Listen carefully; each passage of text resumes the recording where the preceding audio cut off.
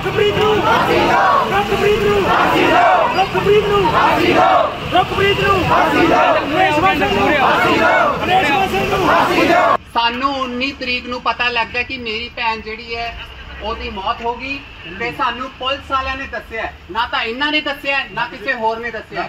ਨਾ ਆਂਟੀ ਗਵਾਂਡੀਆਂ ਨੇ ਦੱਸਿਆ। ਅਸੀਂ ਚਾਹੁੰਦੇ ਹਾਂ ਕਿ ਸਾਨੂੰ ਸਾਡੀ ਜਿਹੜੀ ਜਦੋਂ ਕੁੜੀ ਮਰੀ ਤਾਂ ਸਾਨੂੰ ਕਿਉਂ ਨਹੀਂ ਦੱਸਿਆ ਗਿਆ? ਉਸ ਤੋਂ ਬਾਅਦ ਜੇ ਸਾਨੂੰ ਪਤਾ ਲੱਗਦਾ ਤਾਂ ਪੁਲਿਸ ਵਾਲਿਆਂ ਨੇ ਕਾਰਵਾਈ ਕਰਨ ਤੋਂ ਪਹਿਲਾਂ ਸਾਨੂੰ ਕਿਉਂ ਨਹੀਂ ਬੁਲਾਇਆ? ਅੱਜ ਜਦੋਂ ਸਾਨੂੰ ਫੋਨ ਆਂਦਾ ਹੈ ਤਾਂ ਕਿਹਾ ਜਾਂਦਾ ਹੈ ਕਿ ਤੁਸੀਂ ਆਪਦੀ ਕੁੜੀ ਦੀ ਲਾਸ਼ ਲੈ ਜਾਓ ਤੁਹਾਡੀ ਕੁੜੀ ਮਰੀ ਪਈ ਹੈ। ਕਿਉਂ? ਕਿਉਂ? ਆਪਦੀਆਂ ਕੁੜੀਆਂ ਨੂੰ ਬਚਾ ਕੇ ਰੱਖੋ ਇਸ ਘਰ ਤੋਂ।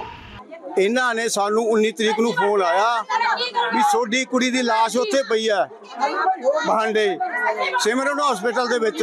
ਪਰ ਉਦੋਂ ਬਾਅਦ ਜਦੋਂ ਦੁਬਾਰਾ ਫੋਨ ਆਂਦਾ ਚੌਂਕੀ ਦੇ ਵਿੱਚ 12:30 ਦੇ ਵਿੱਚ ਠੀਕ ਹੈ? ਉਦੋਂ ਬਾਅਦ ਕਹਿੰਦੇ ਵੀ ਸਿਵਲ ਹਸਪਤਾਲ ਦੇ ਵਿੱਚ ਪਈ ਹੈ ਡੈੱਡ ਬੋਡੀ। ਮੈਨੂੰ, ਸਾਨੂੰ ਕੁਝ ਨਹੀਂ ਪਤਾ।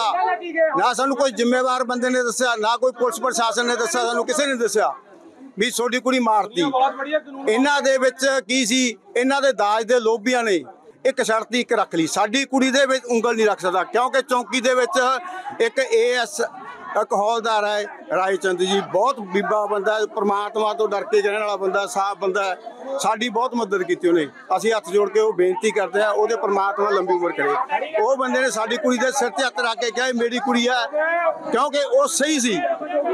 ਠੀਕ ਹੈ? ਇਹਨਾਂ ਬੰਦਿਆਂ ਨੇ ਇਹਦੇ ਧੌਣ ਤੇ ਕਹਿੰਦਾ ਵੀ ਮੇਰੀ ਧੌਣ ਤੇ ਕਿੱਲਾ ਕੱਢ ਨਹੀਂ ਸਕਦਾ ਕੋਈ। ਰੁਕਪ੍ਰੀਤ ਨੂੰ ਫਾਂਸੀ ਦਿਓ ਰੁਕਪ੍ਰੀਤ ਨੂੰ ਫਾਂਸੀ ਦਿਓ ਰੁਕਪ੍ਰੀਤ ਨੂੰ ਫਾਂਸੀ ਦਿਓ ਰੁਕਪ੍ਰੀਤ ਨੂੰ ਫਾਂਸੀ ਦਿਓ ਰੇਸ਼ਮਾ ਸਿੰਘ ਨੂੰ ਫਾਂਸੀ ਦਿਓ ਰੇਸ਼ਮਾ ਸਿੰਘ ਨੂੰ ਫਾਂਸੀ ਦਿਓ ਸਾਨੂੰ 19 ਤਰੀਕ ਨੂੰ ਪਤਾ ਲੱਗਾ ਕਿ ਮੇਰੀ ਭੈਣ ਜਿਹੜੀ ਹੈ ਉਹਦੀ ਮੌਤ ਹੋ ਗਈ ਤੇ ਸਾਨੂੰ ਪੁਲਿਸ ਵਾਲਿਆਂ ਨੇ ਦੱਸਿਆ। ਨਾ ਤਾਂ ਇਹਨਾਂ ਨੇ ਦੱਸਿਆ ਨਾ ਕਿਸੇ ਹੋਰ ਨੇ ਦੱਸਿਆ। ਨਾ ਆਂਟੀ ਗਵਾਂਡੀਆਂ ਨੇ ਦੱਸਿਆ। ਅਸੀਂ ਚਾਹੁੰਦੇ ਹਾਂ ਕਿ ਸਾਨੂੰ ਸਾਡੀ ਜਿਹੜੀ ਜਦੋਂ ਕੁੜੀ ਮਰੀ ਤਾਂ ਸਾਨੂੰ ਕਿਉਂ ਨਹੀਂ ਦੱਸਿਆ ਗਿਆ? ਉਸ ਤੋਂ ਬਾਅਦ ਜੇ ਸਾਨੂੰ ਪਤਾ ਲੱਗਦਾ ਤਾਂ ਪੁਲਿਸ ਵਾਲਿਆਂ ਨੇ ਕਾਰਵਾਈ ਕਰਨ ਤੋਂ ਪਹਿਲਾਂ ਸਾਨੂੰ ਕਿਉਂ ਨਹੀਂ ਬੁਲਾਇਆ?